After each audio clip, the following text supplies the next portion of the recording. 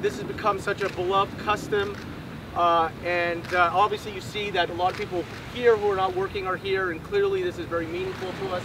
So take it away.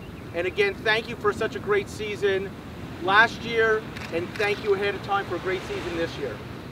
It doesn't even seem like seven. That's what I was going to ask I was you. like, did I go to both of them? Because I felt like Do you it keep was. track of it? Does it feel like it's been Well, that long? No, it, it does. I was just thinking about it today, and I thought I must have missed a few, you know, because it didn't feel like. But I always uh, keep all the lei. Well, I have the leis. I think. I don't even know if I. I think I've kept them all. Yeah, I don't know why everybody kissing and hugging.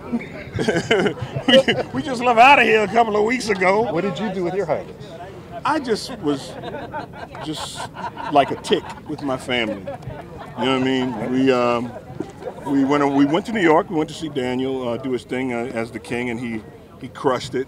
Absolutely, I think there's a different spirit to the place. You know, New York has a lot of energy and it's very vibrant uh, and it's very go go go. Hawaii has has uh, an ambition too, but it's much more for me peaceful and uh, beautiful and in harmony with nature. So they're they're very different, and uh, it's nice to be able to experience both.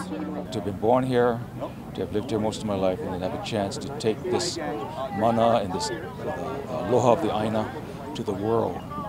Um, it's a humbling responsibility, and it's something that I think all the local actors take very seriously, because we realize we are representing this to the world, and um, it's an honor and a privilege, and something you never take for granted. This is a this is a blessing. It just you can never. I, I have a thing that I always say whenever I hear somebody is mad about something out here, and I'm like, mad. Mad for what?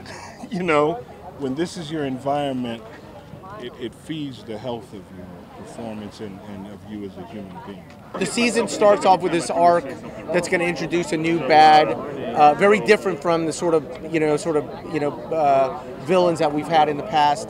Um, somebody's going to require us to go outside to get help to sort of you know sort of figure out because it's a very complicated case. Uh, and that's going to take uh, place over the first four episodes, and then it's going to arc out over the rest of the season at least.